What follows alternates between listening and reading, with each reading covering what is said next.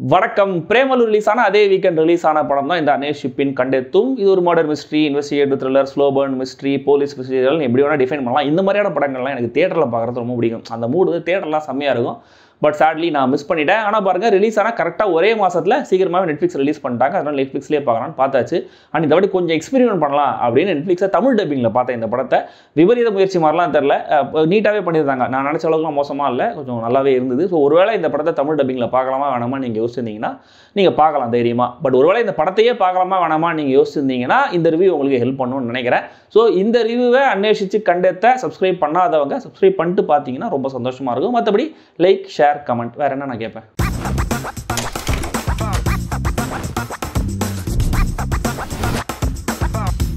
அனேஷிப்பின் கண்டித்தும் ninety three ninety ஃபோரில் நடக்கிற கதை. டொவினா தாமஸ் ஃபர்ஸ்ட் ஆஃப்ல ஒரு டீனேஜ் பொண்ணுடைய மர்டர் கேஸை இன்வெஸ்டிகேட் பண்ணிட்டு இருக்காரு. அந்த இன்வெஸ்டிகேஷனில் வர ஒரு பிரச்சனைனால அவரும் அவருடைய டீமும் சஸ்பெண்ட் ஆகிறாங்க. பட் அவருடைய உண்மையான டேலண்ட் என்ன? இந்த கேஸில் அவர் எவ்வளோ உழைச்சிருக்காரு ஹானஸ்டா அப்படிங்கிறது ஒரு உயரதிகாரிக்கு தெரியும். அதனால இந்த சஸ்பெஷன் முடிஞ்சதுக்கப்புறம் டொவினோ தாமஸை கூப்பிட்டு வேற ஒரு கேஸை கொடுக்குறாரு. இது ஆறு வருஷம் முன்னாடி கோட்டையம் பக்கத்தில் ஒரு வில்லேஜில் நடந்த கொலை கேஸ் இது வரைக்கும் இதை சால்வ் பண்ண முடியல. நீங்களும் உங்கள் டீம் அந்த ஊருக்கு போங்க.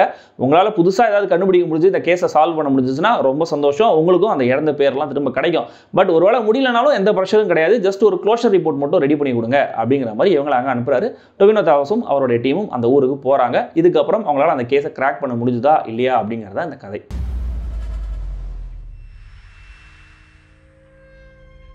மின்னல் முரளி டூ தௌசண்ட் எயிட்டீனில் நடிச்ச டொமினோ தாமஸ் ஆகுதுன்னு ஆச்சரியமா இருக்கு. ஏன்னா அந்த அளவுக்கு பாடி லாங்குவேஜ்லேயே அவ்வளோ ஒரு வித்தியாசத்தை காமிச்சிருக்காரு. ஃபர்ஸ்ட் ஆஃப் இன்வெஸ்டிகேஷனில் ஒரு இளம் போலீஸ் ஆஃபீஸருக்கான துடிப்போட அவர் இன்வெஸ்டிகேட் பண்ணுற விதம்.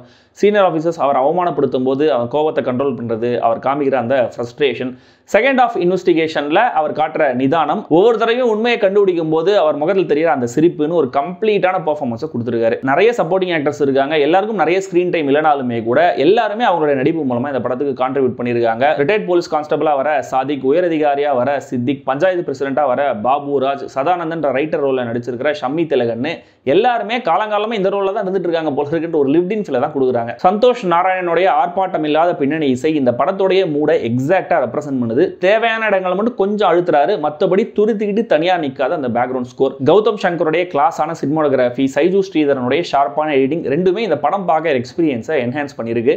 படம் பீரியடில் நடக்கிற கதைனாலுமே கூட டீட்டெயிலிங்காக ரொம்ப ஆன் த ஃபேஸ்லாம் இல்லை. பாருங்க இந்த பீரியடுக்கான டீட்டெயிலிங் எப்படி பண்ணியிருக்கோம்லாம் பண்ணாமல் ரொம்ப மினிமலாகவே ப்ரொடக்ஷன் டிசைனில் அதை மெயின்டைன் பண்ணியிருக்காங்க. ஒரு போலீஸ் இன்வெஸ்டிகேஷன் டீம் அவங்களோட திறமையாக ஆடியன்ஸுக்கு காட்டுற மாதிரி ஒரு கேஸ் தென் அவங்களோட இன்டெகிரிட்டியை ப்ரூவ் பண்ண வேண்டிய ஒரு சூழல். அதுக்காக அவங்களுக்கு வர இன்னொரு கேஸ் தென் அதில் வர பல பிரச்சனைகள்னு போன வருஷம் ரிலீஸ் ஆன கண்ணூர் ஸ்குவாட் படத்துடைய கேரக்டர்ஸை ஸ்ட்ரக்சரை இந்த படம் நிறைய இடங்களை ஞாபகப்படுத்துச்சு. அண்ட் அந்த படம் மாதிரியே இந்த படமும் ஆல்மோஸ்ட் முடிகிற வரைக்கும் என்கேஜிங்காக பரபரப்பாகவே நகருதுங்கிறத முக்கியமான விஷயம். ஒரு செகண்ட் கூட வேஸ்ட் பண்ணாமல் ஸ்ட்ரெயிட் டு த பாயிண்ட் ஒரு போலீஸ் இன்வெஸ்டிகேஷன் எப்படி நடக்குங்கிறத டீட்டெயிலாக பதிவு பண்ணியிருக்காரு இயக்குனர் டார்வின் குரியகோஸ்.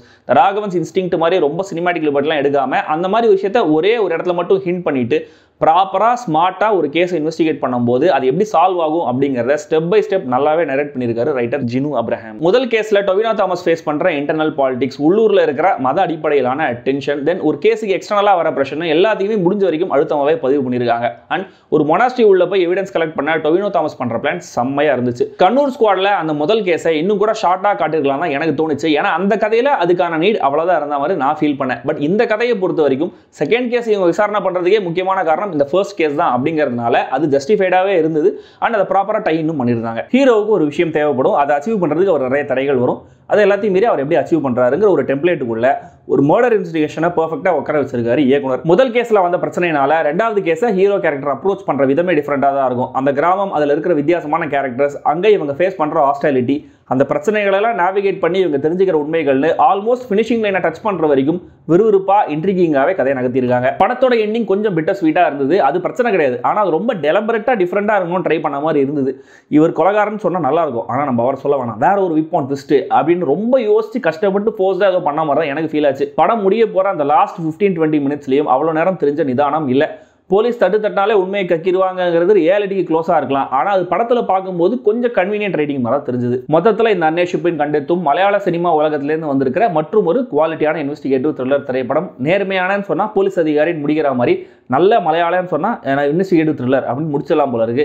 அந்த அளவுக்கு தனியாக லைப்ரரியே நடத்துகிற ரேஞ்சுக்கு இந்த ஜானரில் ஸ்பெஷலைஸ் பண்ணி வச்சிருக்காங்க. உங்களுக்கு இந்த மாதிரியான ஜானர் படங்கள் பிடிக்கும்னா கண்டிப்பாக ட்ரை பண்ணுங்கள் படம் நெட்ஃப்ளிக்ஸில் ரிலீஸ் ஆயிருக்கு. அண்ட் இந்த படத்தோடைய தீம் இன்ட்ரெஸ்டான சில காட்சிகள் வயலன்ஸுக்காக கண்டிப்பாக இது குழந்தைகளுக்கான படம் இல்லை மைண்டில் வச்சுக்கோங்க.